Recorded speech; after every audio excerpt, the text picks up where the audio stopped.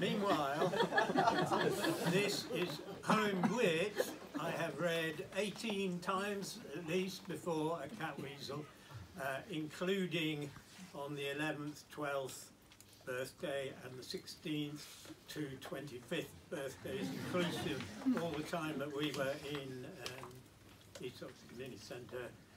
Uh, so it's a bit of a tradition and it was written by Mervyn Peake in the dark days of the Second World War.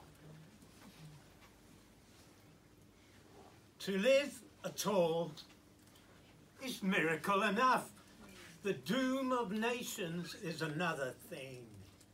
Here, in my hammering blood pulse, is my proof let every painter paint and poet sing, and all the sons of music ply their trade.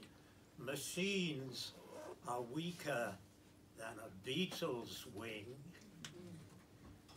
Swung out of sunlight into cosmic shade, come what come may, the imagination's heart is constellation high and can't be weighed.